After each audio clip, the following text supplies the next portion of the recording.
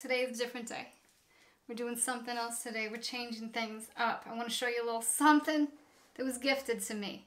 And by little, I mean gigantic. Takes up one quarter of my laundry room. This is my laundry room, by the way. This is like the best. It is wild orchids and sandalwood. I think my cats are fighting. Could you guys not? Would you mind not? I'm gonna throw something at you. Please don't. I don't actually have, I don't, what am I gonna throw at them? My words? I already did that. It didn't help, they still get into fights. Okay, now that my cats are done fighting, I would like to, this is not a real fight. They just, they squabble. It's more of a squabble, you know what I mean? So anyway, I want to tell you about my Mars Hydro tent. This was gifted to me a little over a month ago. So in like December 2021, I set this up. I started putting my Hoyas in it and it has been nothing short of absolutely amazing. In December when I received the tent, I just put like all of my Hoyas that I possibly could into this tent and the like the growth was incredible like right off the bat just within the first week. Within a month, the plants put out more growth than they had in the entire year leading up to when I got this tent. So that, that was pretty amazing. But I have moved all of those Hoyas out into the living room. I put them on my shelves where I have some other lights that I'll talk about in another upcoming video. So in here right now I have like a ton of cuttings that I'm rooting and I just want to show them to you. I'm gonna give you a little tent tour and I hope that you enjoy that, you know? And I'll tell you a little bit about my tent too. So, let's open this puppy up. It's bright. This tent, this is a small space, okay. So the tent itself is uh, one meter by one meter. Uh, wow, I'm bad at explaining this. so the tent itself is one meter by one meter in length and width. It's like three feet by three feet and then it is 1.8 meters high. So it's a little taller than me. I'm 1.64 meters. So, you know, average average height. A little taller than me. And the light that I have inside is the FC3000. I chose this light because it had great reviews. It has awesome Samsung diodes and it was just a great sized light with the adequate amount of panels to cover the entire canopy of a tent of this size. If I had gone up a size to like um, 1.2 meters by 1.2 meters, I probably would have sized up the light a little bit. I don't know, but this is like the perfect light for this tent. Wonders. It's just doing wonders for my Hoyas. And I definitely don't have it up to 100%. It would fry the heck out of my Hoyas. But I also liked that, you know, it is adjustable. And if ever I do want to put some plants in here that are higher light plants, I have the option to do that. You know, I, I, have options with this light, but they have a lot of lights to choose from. They have a lot of really excellent lighting options. And, uh, you know, if you want to, if you're thinking about getting a Mars Hydro tent, maybe you will be after you see my, my little Hoya babies and some of the Hoyas that had been in here for a month, then you can go to any Mars Hydro site, you know, .com, .co.uk, German Mars Hydro, any of those sites, and use the code uh, Betsy Begonia. You'll get 3% off your purchase at Mars Hydro. Uh, link down below. Okay? Okay, so anyway, I, would, I really want to begin with my Hoya fungii because it's been in here the longest as far as these plants, I almost said glow. as far as these plants glow.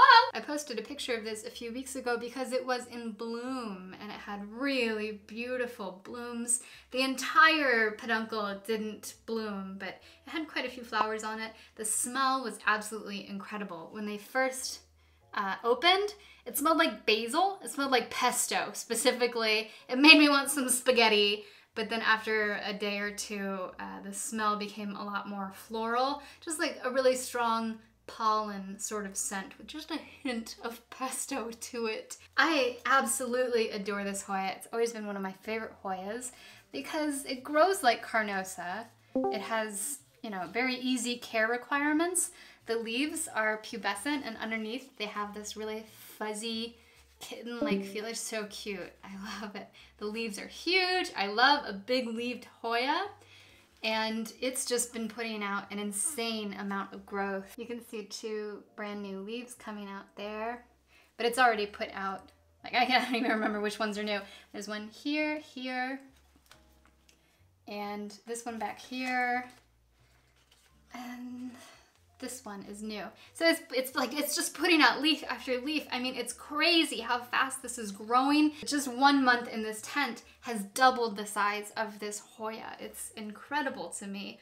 I've never seen such growth on any of my plants because I've never used such strong lighting before, but I'm very excited about it. Okay, look, you're getting stuck on everybody. Let go let go. I want to talk a little bit about Hoya Daikya. Now I have had this since spring of 2019. I remember I featured it in a video when I moved to Lille. And um, we don't have a very good relationship. And I gotta tell you, um, it has not done much since 2019. I have rerouted it three times. Three times. But I am like determined. I'm a very patient person when it comes to plants. Like begonias, they will like completely croak, like no leaves, nothing. But I know if I just like stop watering them, give them a little bit of time, give them a lot of bright indirect light, they will come back to life. I don't like to give up and I'm very persistent. I actually wonder if this Hoya has been suffering from, I think they're called top shoot mites. The person who taught me about them was Swedish.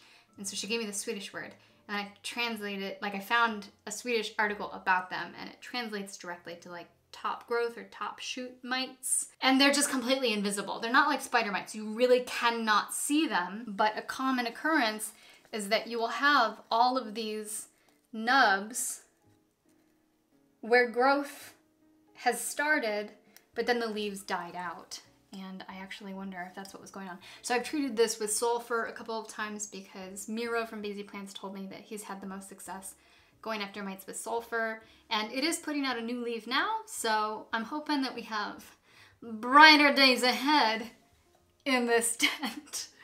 Uh, otherwise, I'm just gonna throw it away and get a new one because I can't take it anymore. I can't take it anymore. I honestly cannot take it anymore. Here is one of my favorites. You'll see I have a lot of these in cups because uh, they're just too small to put them in like the pots that I have and I didn't want to like buy a bunch of new plastic like I'm recycling a lot of these cups. If I receive plants in plastic cups, I'll reuse the cups as much as many times as I can before I like put them in the recycling. So these are both like cups in which plants have been sent to me. I don't want to go out and buy a bunch of tiny pots. I don't want to like buy I don't need more plastic in my home. You know what I mean? Like I have enough plastic in my home and so I'm just gonna wait for this to get big enough to put it in one of the plastic pots that I already have because I have like I have like 60 plastic pots. Hoya species Nong Nooch. I just get a look at these leaves. Look at these leaves, brother. They're huge and they're beautiful. It's a gorgeous Hoya. I keep all of my Hoyas and the information about them, like when I got them and who I got them from in a Google sheet, and I believe I got this from Svetlana. Yes, I got this from uh, a very kind Russian woman who lives not very far from me. this isn't one of those videos where like I educate you on Hoyas. Like right now, currently, a lot of these I don't know jack poop about them. like I would have to read about them a little bit in order to tell you. Like I have read about them, but I'm not like an encyclopedia, you know what I mean? So when I do those videos where I talk about a plant, I usually have the information readily available to me. I'm not just like a spigot for facts about Hoyas and Hoya history, but it's beautiful Hoya, am I right? I'm really happy about this one. This is Hoya EPC 964.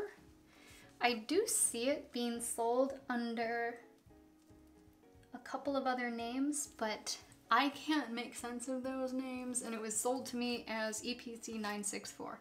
So that's what I'm going to call it until I can like verify that it has another name. I don't know what to say. some people are calling it like water drop. I think some people call it Irina. I really just, I can't say, I just know that it's EPC 964. You can see it's putting out some new growth, which I'm very happy about.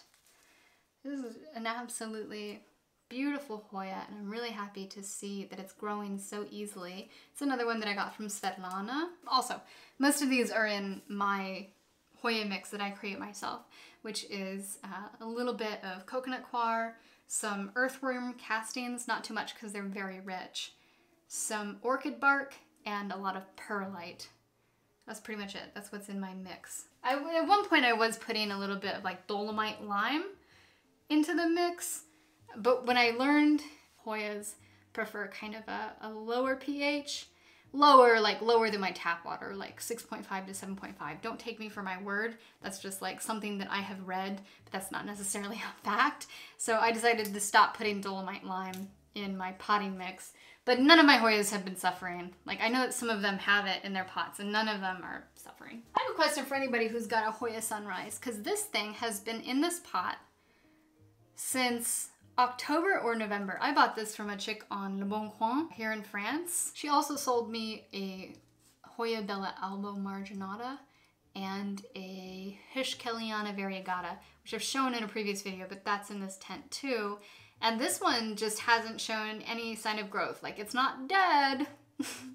and the leaves have become a little um, sun stressed, but it's just not even threatening to grow and I'm wondering if if there's enough stem in that cutting or if it's going to be like one of those carry heart situations, you know, like the heart leaf carry. They put like they just put one leaf in a pot and like the chances that it will turn into a plant are very, very slim because you need cells from the actual Hoya stem in order for it to become a plant. Otherwise, it just roots and it lives forever, but as a leaf. And I'm really worried that's what happened here. But it's a cheap Hoya. And I'm just like, should I give up or should I keep waiting? Like, should I get another?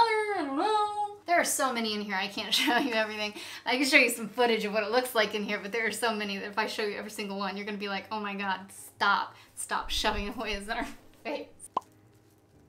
I mean, we all, we all know what Callistophylla looks like, you know what I mean? I love Callistophylla, and I've looked for it. I had one. I got it at the same time that I got the Hoya but it didn't survive. And I wonder if it's because it had those top shoot mites. Like, I'm very sad about it because now it's really difficult to come by Callistophylla. I bought like that whole plant. I think it had three leaves and I got it for like 16 bucks.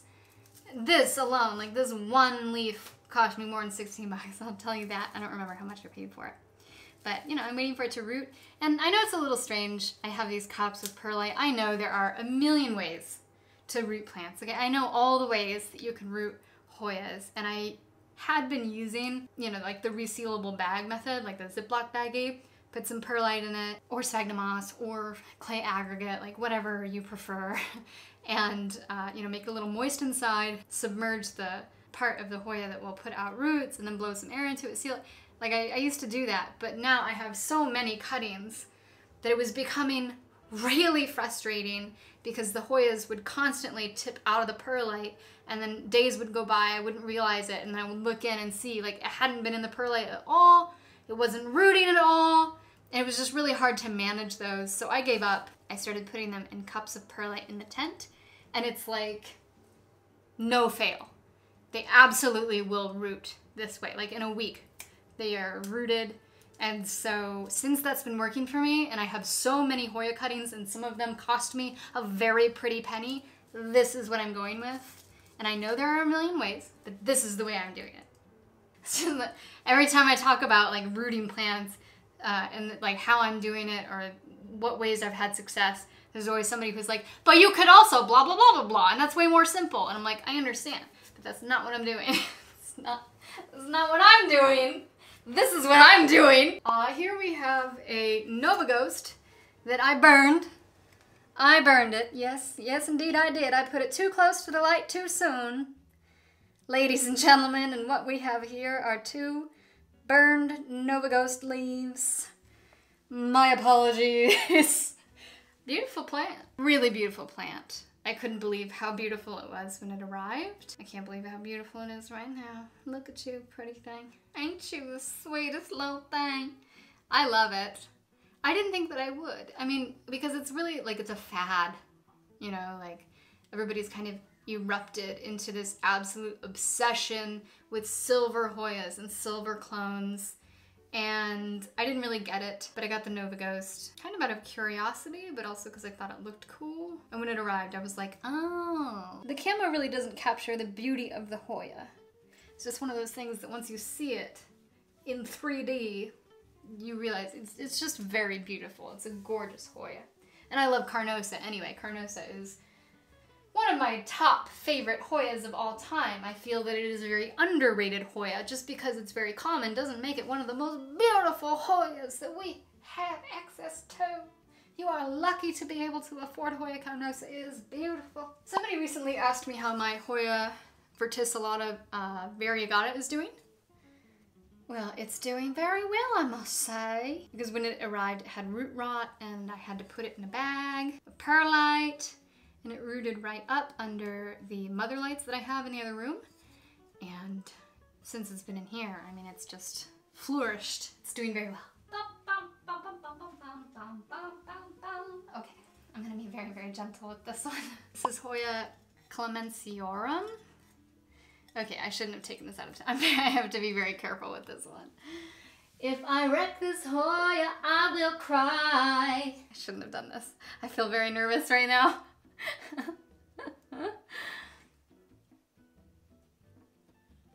you know what? I'll just take some B-roll of this Hoya. I'll just take some B-roll of this Hoya. I don't want to take B-roll of everything because it's really time consuming. That scared me. I thought that this... Uh, it's just a little pot that I keep in the cover pot because it's like it's too short to cover pot is really tall. I just I think I'm gonna I think I'm like I almost had a heart attack. Clemensiorum is very difficult to find or to find for a reasonable price. And I found someone who gave me a rooted cutting of Clemensiorum for a very reasonable price and I could like I'm, I was just elated and I'm very very very very happy that it's doing well in this tent. When I when I got it, it was already in a potting mix that eh, something it was seemed like a cactus and succulent potting mix. It was very sandy, but it was covered in soil mites. Soil mites aren't really harmless. They don't eat the plant. They just eat like uh, organic matter in the soil. But there were so many that I thought I was hallucinating. I thought I was imagining things. I thought that I was just so paranoid that the plant would have pests that I was seeing things. It was like the entire top of the pot was just covered in soil mites. So I put it in a baggie and sealed it so that it was kind of quarantined and so that the mites wouldn't migrate to any other plants. And then I gave it some time to kind of show that it was growing and that it had like stabilized, you know, that it had adapted a bit. And then I scraped off the top like inch of the potting mix and I just doused it with diatomaceous earth. Just completely like a whole layer of diatomaceous earth. And then I forked that. sounds weird. I took a fork and I scraped that into you know, as much as I could of the potting mix without affecting the roots. I put it back in the bag, quarantined it for another like three days, and then I took it back out. Didn't see any sign of any soil mites because they really live in like the top layer. And then I chose to like take it out, rinse off the roots, repot it, and I've kept an eye on it, and I haven't seen any soil mites at all. That was a long story. I'm really sorry. this Hoya is very special to me, okay? I'm gonna put it away because I'm just so um, obsessed with not injuring this single leaf that it is currently putting out. It should be putting out two leaves. Is not. And uh, we're, we're just gonna, we're gonna put Clemensiorum back where it belongs. This is Hoya Silver Lady Dye. Please fucking my stupid head. This is Hoya Silver Lady Dye. The two new leaves are looking a little dry. I didn't realize the potting mix had dried out. I just repotted it.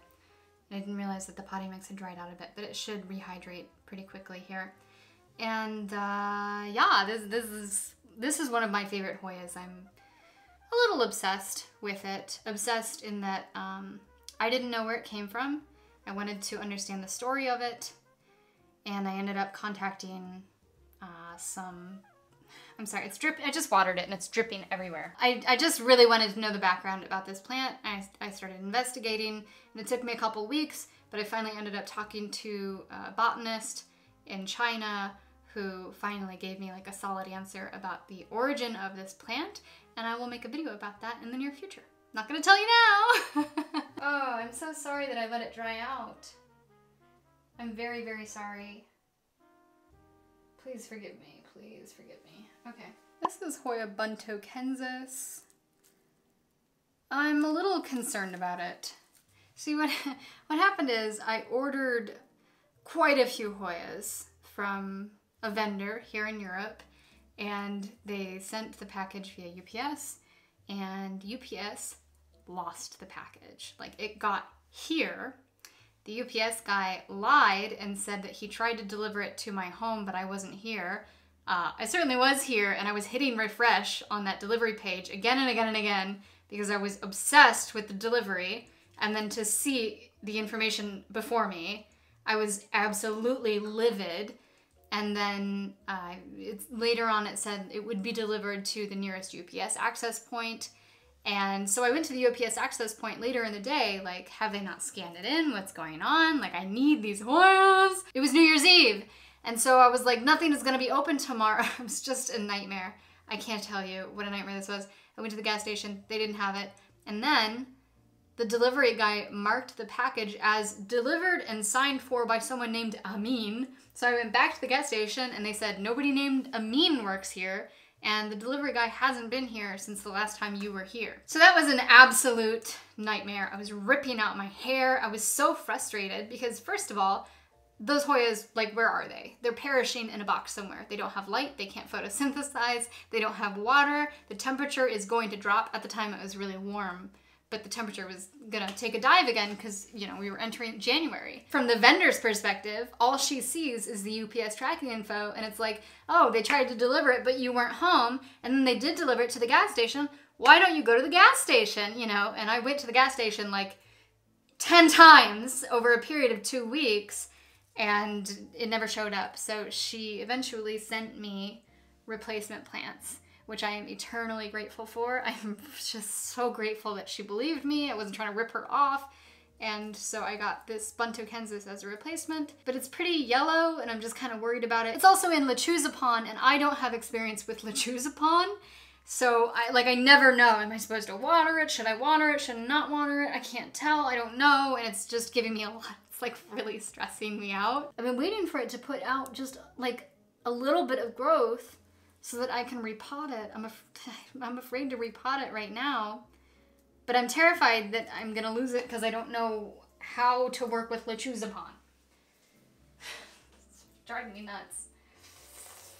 It's not an it's not a cheap Hoya, okay? I don't want to lose it. And also after the entire UPS debacle, I really don't want to lose that plant.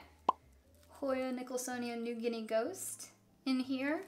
It was actually, it wasn't a potting mix.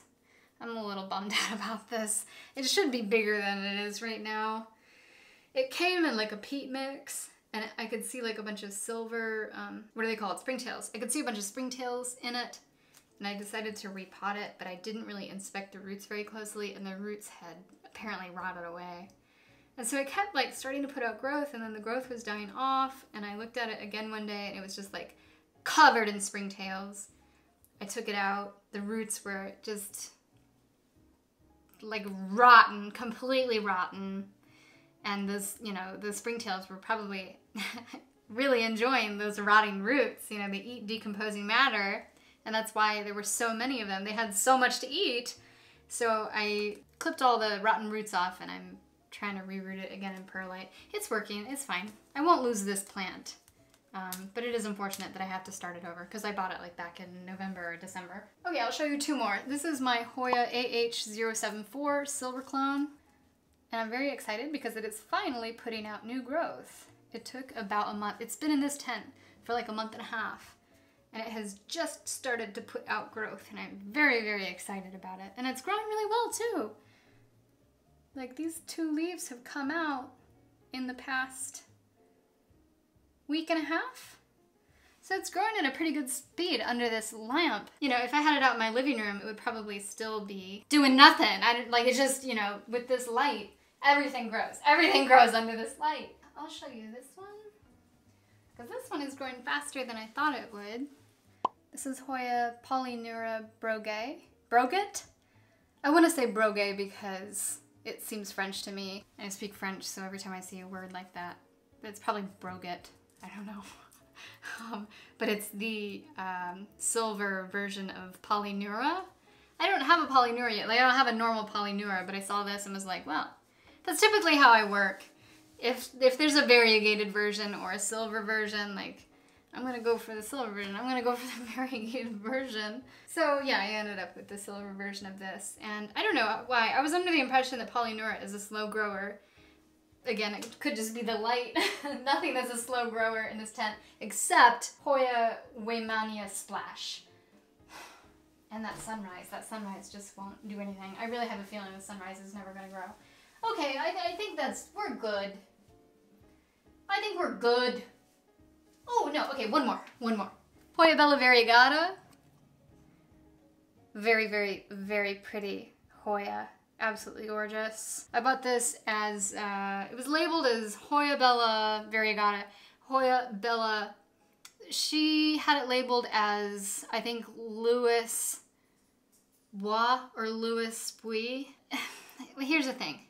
So you have the Alba Marginata and you have the Variegata. Both variations of Hoya Bella were created supposedly by Bui Nursery, and they named one of them Hoya Annika Bui, and this one Hoya Lita Bui, after two women in the Bui family. However, there are also Hoyas circulating as Louis, Bois, Louis, Bui. Like, they're, to me, it's just a very obvious misspelling. Like at some point in history, someone sold this plant and they writ in their they writ they wrote in their terrible handwriting Lita Bui, but the person who bought it or the person who ended up with it had a really hard time reading their handwriting and they ended up calling it Louis Bois or something like that. You know what I mean? And it's just very obvious to me that's how it happened. It's not like someone else created another variegated version of this plant and then named it Louis Bois, which is so weirdly similar to Lita Bui. You know, like I'm sorry, I just can't I can't ride the wave on that one. So even though it was sold to me as Louis Bois, I am calling it Lita Bui, and I know that that is controversial, and that some people have a philosophy that you should never ever change the label of a plant from what it was sold to you as to avoid confusion in labeling and mix ups. But in this case, I feel like you're only prolonging what is a very obvious misspelling of a plant. Anyway, I'm sorry. I get a little passionate about Hoyas, okay? Get a little, get a little fired up, you know what I mean? That's just how I am. Uh, I will show you the rest of these Hoyas another time. But I did want to show you, I just, I just disappear and I come back, and I go away and I come back. Can't get rid of me. I wanted to show you a plant that I've had in here for a month. Actually, I moved it out to the living room under my mother lights.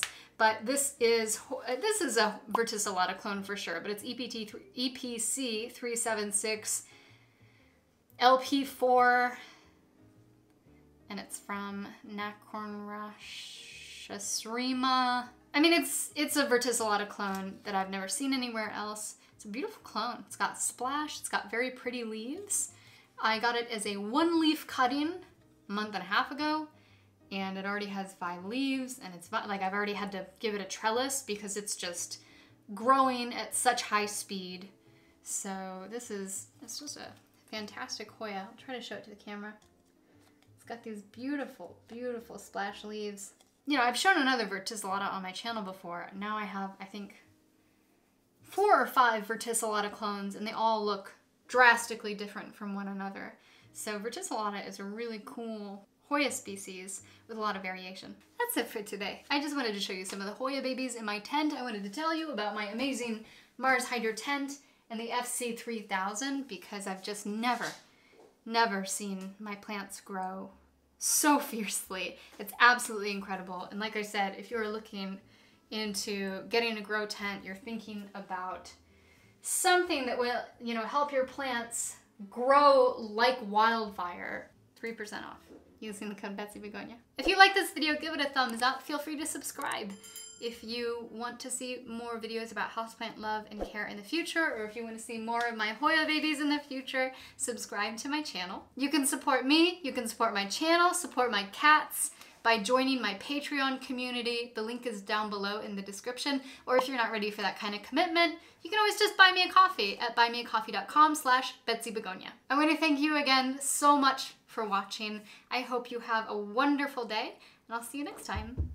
I'd like to thank my patrons and my energy boosters from GiveMeACoffee.com, my energy booster Christina G, my Hoya My Gosh patrons Anthony Rankin, Carolyn Green, Frederick Bowman, and Tina Halberg, my Begonia buddies Adam Banzoff, Casey Smirnotopoulos, Krabby Cat, Darcy Levitch, Aaron Meow, Fenner Lamb, Grams underscore loves plants, Hannah Trenkel, Haley O'Donnell, and Jamie, Jennifer Broadford, Jordan, Kayla Mann, Kristen Moore, Leah A, Michelle A, Michelle Sadlowski, Pamela, Robin L. Jennings, Shara Kumar, Tisha McCann, Ula Umlaut, Vicky Dingler, Wendy Foreman. Emma Pelthos pals, Amanda Amin, Ashley Eagle, Brianna Phillips, Cece, Christina Wong, Claire Lynn, Denise Grimm, Elizabeth Mary, Elizabeth Velasquez, Emily Sepalou, Emma Greenwood, Eva Weir, Gracie, James Kopp, Jesse, Karen, Cassandra, Lois, Kayla, Vavra, Kelly Ash, Kelly Westover, Lexi Haynes, Lydia, Lilith Moon, Linda Thea, Lisa, Glandon, Nicholas Curtis, Olga, Plant Girl underscore 50 Asper's Bree, Samantha, Shelly Everett, Sophia, Steve A, Vertigris Dreams, Wanyang Zhang, Zen Simmer, and Anonymous Aardvark. That's somebody who, uh, they don't want me to say their name, but I'm really appreciative that they are a part of my Patreon community. If you would like to support me, feel free to click the link down below or go to buymeacoffee.com slash Betsy Begonia and buy me a coffee. I could use one. I hope you have a wonderful day. I'll see you next time.